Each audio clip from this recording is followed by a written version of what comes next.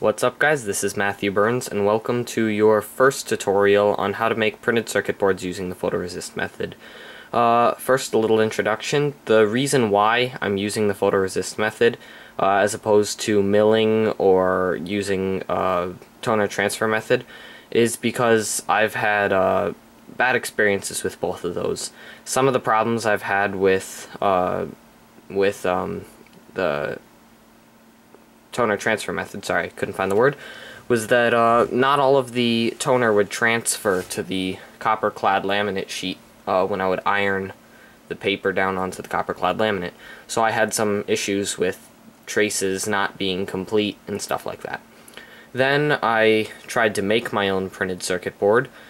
Um, it actually worked out pretty well. I was able to move all three axes, and it was fairly precise, but it had so much give in it when you put any resistance on the z-axis that it wasn't able to mill out anything. Uh, then I, I purchased a CNC, the Fireball V90 from Probotix, and even though it was uh, very precise and much steadier than the one I'd built completely from scratch, it still wasn't quite accurate enough, or at least I wasn't able to get it to do what I wanted it to do. So um, that's why I decided to uh, make printed circuit boards using the photoresist method. And I actually have already created one printed circuit board before I made this tutorial. It is the uh, full adder section of the ALU for my 8-bit computer, if you've seen any of those tutorials. And uh, so in this tutorial, I am going to be uh, making the B input subtractor. That's just the name I called it on uh, my Eagle CAD software. It is uh, the circuit board that's going to invert all the bits going to the B input of the ALU, and it's going to send a 1 to the carry-in of the first full adder, and that'll allow me to perform subtraction using my ALU. So that is the printed circuit board I'm going to be making in this tutorial, though for the uh, computer section, what I'm going to be showing you here in this tutorial, I'm just going to be making a different printed circuit board, like a 555 timer flasher or something like that, because I'll show you in a minute. I already have the, uh, the board for my B input subtractor complete, and so there'd be no use in me doing it again. Now, you don't really have to know what this does you're going to be making most likely a totally different printed circuit board. And so um, all you have to be able to do is follow along with how I'm making the printed circuit board. You don't have to know what the printed circuit board I'm making actually does. So this software here that I'm using, you're going to want to download. It is called Eagle, and if you just open up an internet browser, go to Google, and search either Eagle or CAD soft or both. It'll be, I'll try and zoom in here. I know recording a computer screen with a camera is never great, but I was using some Ezvid software and that didn't turn out very well. I'm pretty sure I got like 20 viruses from that. So uh, Eagle CAD soft, pick the first link, go here to downloads, download Eagle, and uh, whatever operating system you have, just pick whatever one, download it. I'm just using the free version because I didn't feel like paying a thousand bucks or whatever it was that they want. So I'm limited to 4x6 inch boards or something like that. I really don't even know the limits too well, but it works for what I need it for. So once you get a copy of that software, open it up. Eagle 6.4.0 is what I have.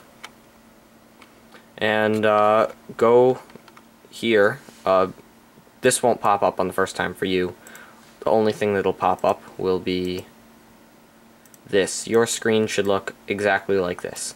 So open up this drop-down menu, Projects, Eagle, and um, I'm going to be making this flasher here in this tutorial. So I'm going to delete this project because I'm going to start over for tutorialing it. Um, like I said before, this is what I'm going to be using in the other tutorials, this B input subtractor, but um, for this tutorial so I can show you how to use this software, I'm going to be making something different. So right click here on Eagle, new project, and then type in the name of whatever you want your new project to be. I'm just going to call it Flasher. So that's all it's going to be. It's going to be a 555 timer in astable mode.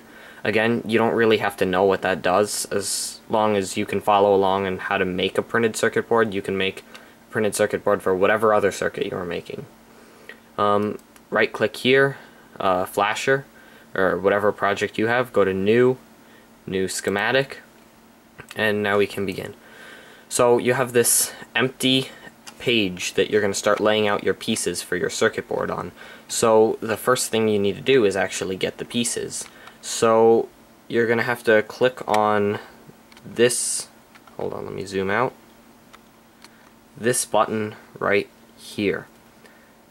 Add. That's how you add pieces. Click on it, and this um, frame pops up. And what you have to do is type in where it says search the name of your device uh, or your your chip or resistor, capacitor, whatever it is you're using. Though it is very uh, searching using this this search bar here is not very great. If I were to type in 555 for like a 555 timer, it'll come up with absolutely nothing and have no clue what I'm talking about. So I'm just going to say timer. And if you look up on the screen, here right there, that's what I'm looking for. And I want this one, I think. Yep, dual inline package.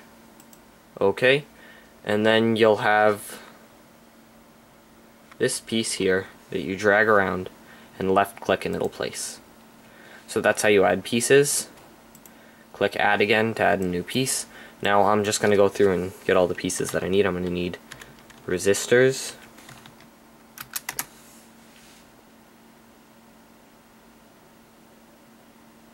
Okay, resistor US uh, 7 millimeter, 7.5 millimeter. Okay, I'm just going to place these where I need. If you want to know what I'm doing here, if you just Google uh, 555 timer astable mode, it should be pretty obvious. It's not that difficult. But, um, again, the circuit that I'm making here isn't really in the scope of this tutorial. I'm just showing you how to make printed circuit boards. Okay, I'm going to need a capacitor.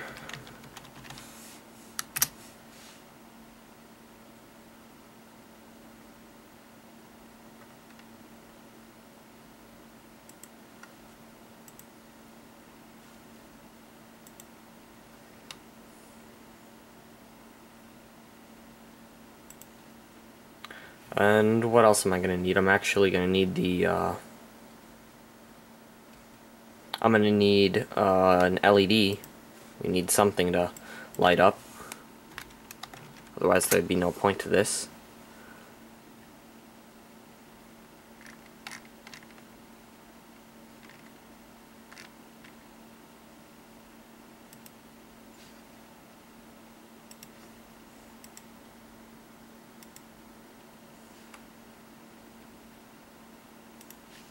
And I need a power supply, so I'm just...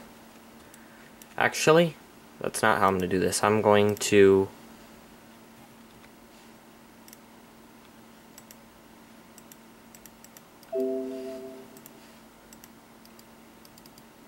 Didn't mean to do that there. I want to select this.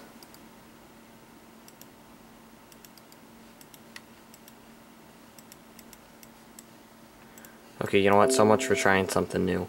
Um, I'm just going to lay pads down for the power supply. So I'm going to search for the power supply. You're most likely going to need to do this on yours, so I'll show this to you. Uh, just type pad. Okay. And um, what we want here is a wire pad. So um, just look through these through hole wire pads. I'm going to get this one here, 2, comma 54 dash 1, comma 0. Um, whatever specs you need. I really don't even know the difference. It has to do with internal diameter and external and whatever, but who cares. If it's a copper pad that I could solder to, I'm happy. So, uh, place this somewhere on the screen here. I need one for power, one for ground. I'm going to put one at the top and one at the bottom just to keep it simple. Then, uh, as you can see, that's not a piece I've laid out, that's just there, cuz. Um, I have all my pieces that I'm going to need laid out, and so the next thing I need to do is connect them. So you're going to want to click on this button right here. It'll say net. And then begin making all the necessary connections.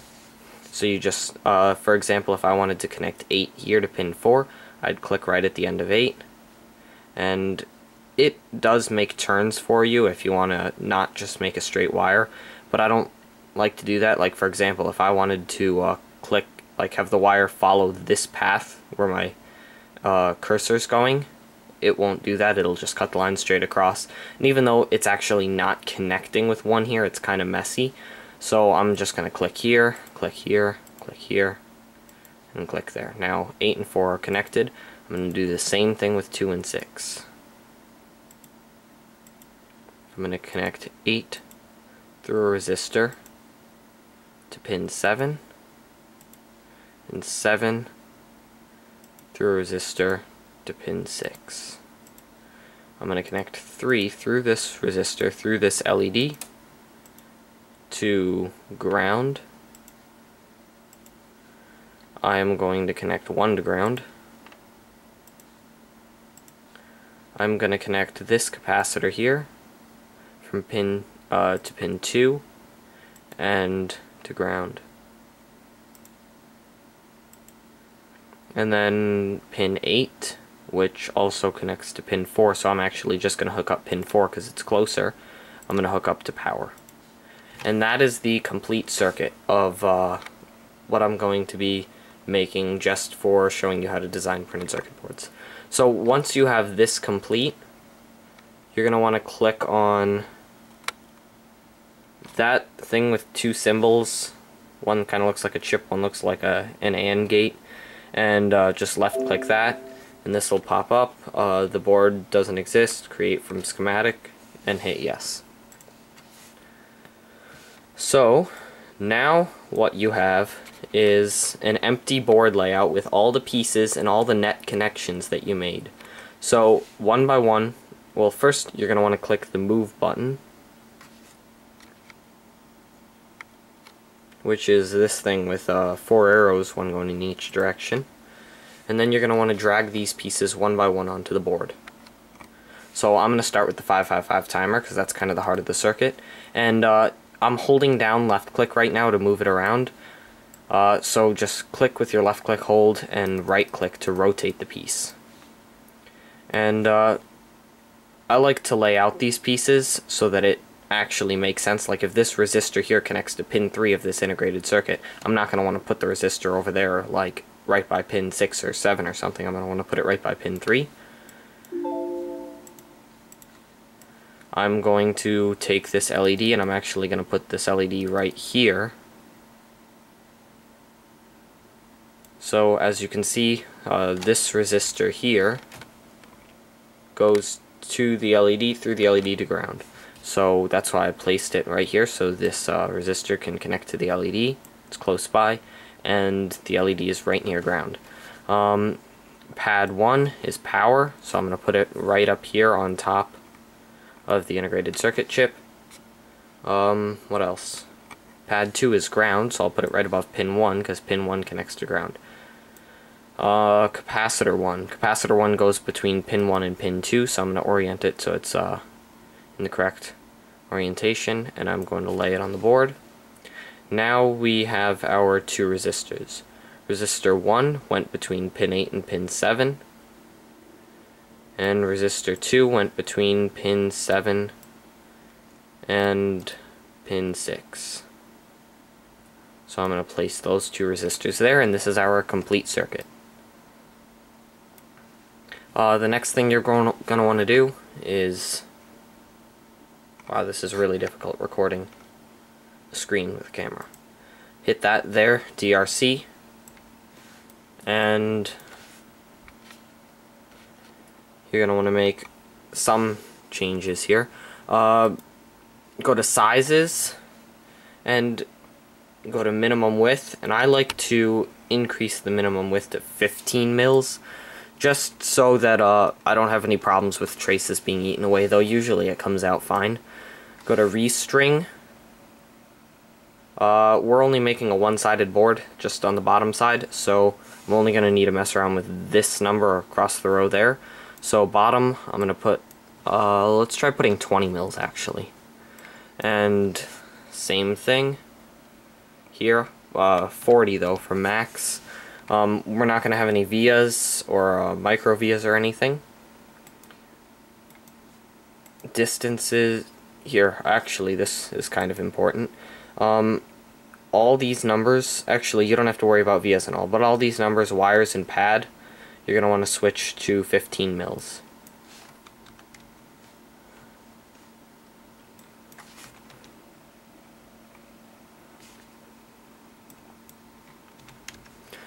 Okay, in the bottom left hand corner when you're done with that, hit apply and then check. Now you're actually going to want to make or have the traces uh, built, so rather than routing them by hand, which you can do, just, my bad, click this button here, and this is the auto router. So uh, the first selection, or first decision we're going to have to make is uh, the top and the bottom. Uh, this is preferential directions for the traces. I don't really care, uh, but the top, we're not even using them, so NA. The bottom, hit the asterisk, so there really is no preferential direction for the traces. Uh, for the via shape, I like to choose octagon, though it really doesn't matter. If there's copper connecting your pieces, it'll work. Routing grid you can leave as 50, and hit OK. And as you can see, it designed our board for us. It laid out all the traces and everything. So all we have to do now is print this off on transparency paper um, after we change a few of the things about the view. So go up here and select view, layer settings, and you see a list of things that are visible and not visible. You can see where there's blue in front of uh, a certain item, it's visible, and when there isn't blue in front of it, it's not visible. So you can click the blue in front of it to change. So the only thing we want visible is the bottom and the pads. You can uh, make everything else so it's not visible.